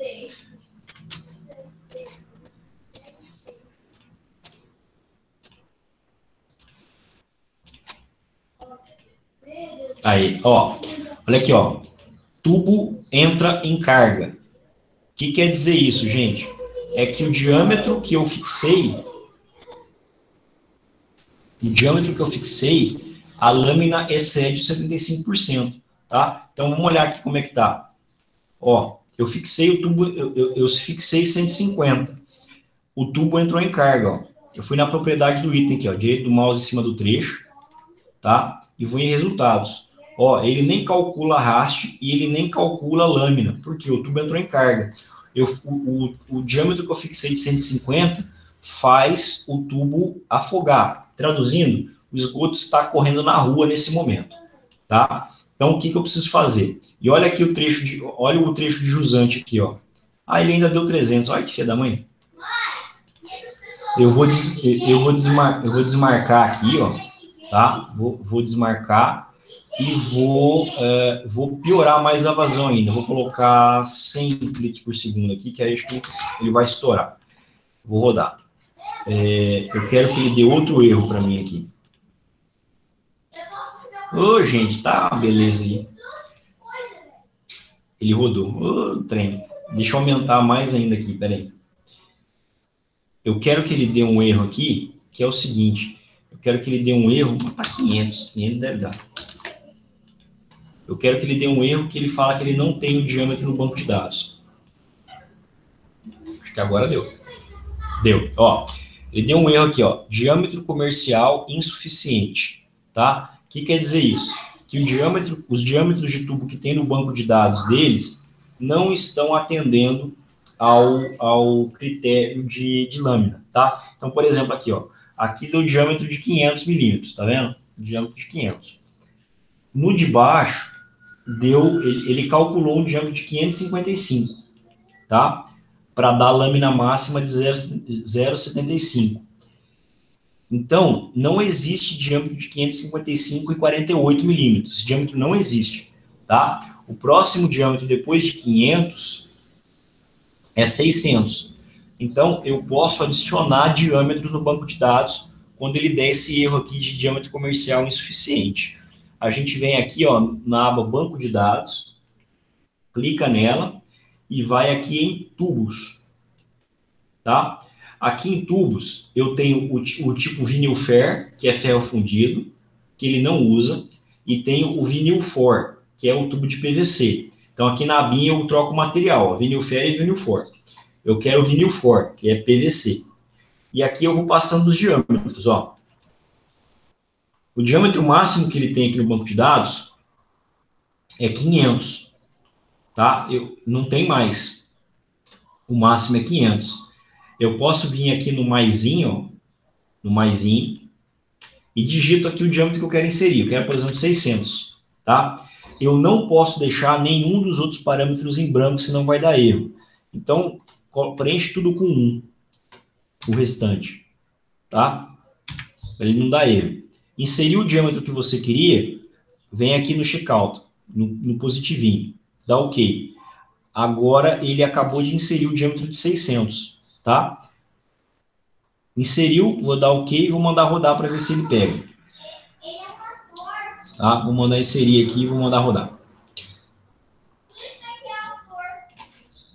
Pegou, tá? Então aqui, ó, ele já inseriu o diâmetro de 600 que eu coloquei lá tá? Então, se der aquele problema de erro de diâmetro comercial lá, vocês podem é, fazer isso.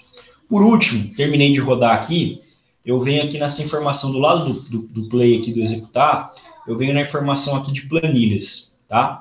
Depois que eu rodei, aqui nessa informação de planilhas, eu vou aqui na aba inferior eu tenho todas as planilhas, é, eu tenho todas as planilhas do, do trecho.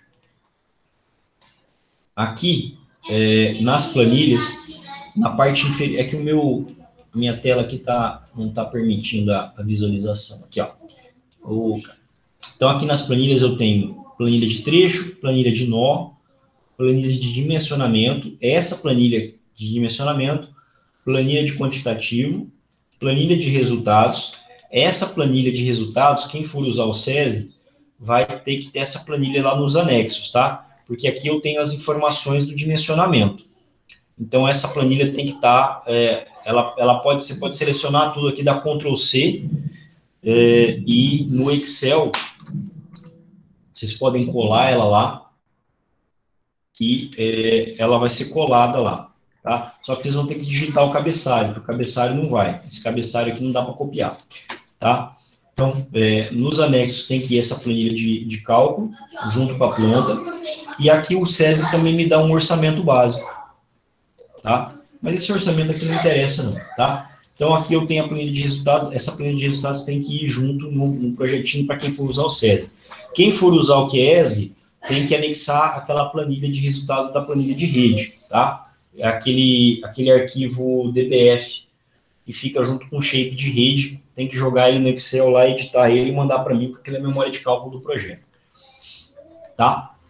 É, então, aqui é o meu projeto dimensionado, tem todas as informações do meu projeto efetivamente. Voltando aqui no trecho de rede, e aí tem que ter a planta, né? A planta, eu vou aqui em acionar, ou, perdão, eu vou aqui nessa informação, ó, exportar DXF. Eu vou exportar, eu quero exportar só, só rua e rede, o, o restante não precisa. Exporta em 1 para 2000, que fica no tamanho de, de fonte bom, tá? Aí eu vou clicar OK aqui e vou escolher um lugar para salvar. Vou salvar lá na pasta SDU, é, eu vou chamar de result, vou chamar de result 1 e vou mandar salvar. Eu exportei o meu projeto lá para o AutoCAD, vamos olhar ele lá. Então, aqui, teste SDU, tá aqui a, o result 1, vou abrir ele. Tá? Então, aqui está o meu projeto dimensionado. É, rede e quadras. Ele deixa, ó, se me mandar a planta encavalada desse jeito, não vou nem olhar a planta, tá? Só para avisar os senhores. Então, os senhores têm que arrumar essas cotas aqui. Tá? Arrumem essas cotas. É, então, aqui, ó, vem tudo encavalado. Tem que arrumar no CAD, tá? Então, aqui está encavalado essas cotas, ó. Tem que ir lá e desencavalar as cotas. Eu chamo de encavalar, né? Vocês podem chamar do que vocês quiserem. Então, aqui, ó, eu tenho que desencavalar essas cotas. Tem que, tá? É, arrumar elas, desencavalar isso vocês fazem no CAD. Tá? Ele vem tudo encavaladinho aqui, ó. Tem que desencavalar essas cotas todas. Tá? Então, desencavalem as cotas para preparar a planta para mandar para o professor. E aqui, ó, tem que desencavalar tudo, mas ó, ele já, ele já solta o projeto pronto. Tem regiões que não precisa desencavalar, ó. aqui, por exemplo, não precisa, tá? Só que eu não enxergo amarelo, tá? Então, é, troquem as cores do layer. Dá para trocar a cor do layer aqui na, na função de troca de cor. É, dá para fazer a alteração do, da, das cores aqui, tá? É, por exemplo, esse aqui está no layer 0. Zero não? Está no layer cota prof. Cota prof, cota prof. Dá para a gente fazer assim, ó. Seleciona tudo, coloca by layer, aí ele fica, ele fica com as cores da camada, né? E aqui vocês conseguem vir e editar. Por exemplo, quadra, quadra, quadra, quadra, quadra, quadra. Deixa eu ler quadra aqui. TXT topográfico. Qual que é o layer de quadra? Ruas. Então aqui, ó, layer ruas. Ruas, ruas, ruas. Ó, o layer ruas está em amarelo, né? Se eu vier aqui, der um duplo clique e trocar para preto, ele troca tudo de uma vez, tá? É, o layer rede, que é rede projetada, ele, rede, rede projetada, tá tudo preto. Eu quero ele em vermelho, dou um duplo clique aqui, ele passa tudo para vermelho. Sem eu precisar ficar trocando um por um, tá? Então, olha lá, ele já altera, tá? Lembrando, é, lembrando que seria legal se vocês colocassem uma cor para cada diâmetro, tá? Ele não separa aqui, mas se vocês quiserem separar, ajuda também na hora de, de analisar o projeto.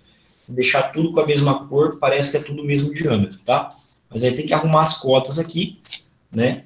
Nessa hora o estagiário sofria lá na Sanesul, tá? Sofria com força. Essa plantinha é para mão de estagiário. É, para arrumar a cota. Beleza?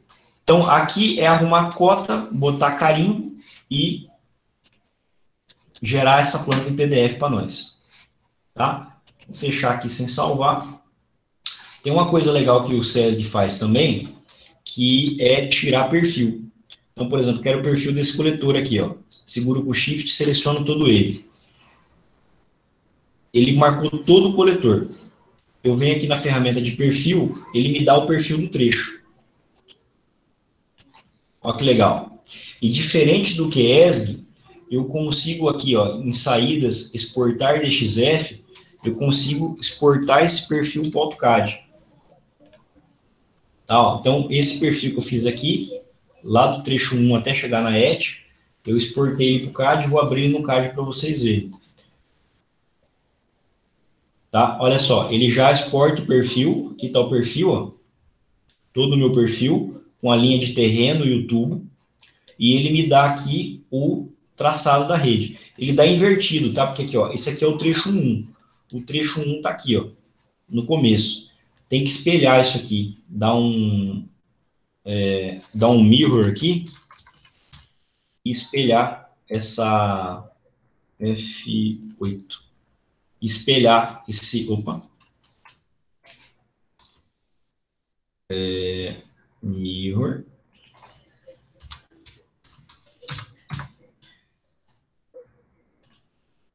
E aí a gente espelha ele e apaga o original.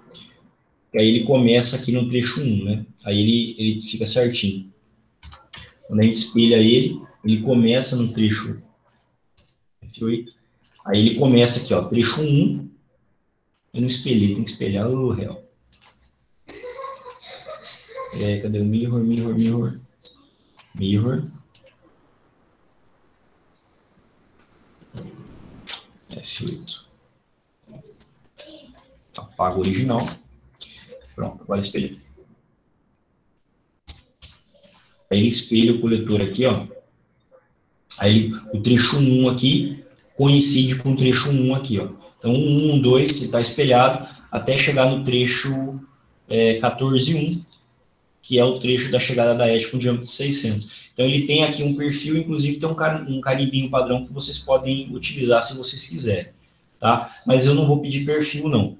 É só para mostrar para vocês que o programa faz isso. O QESG não exporta perfil para a EPANET, tá? E aqui, como vocês é, perceberam também, o, o QESG, ele não exporta as quadras, tá? O SESG exporta. ok?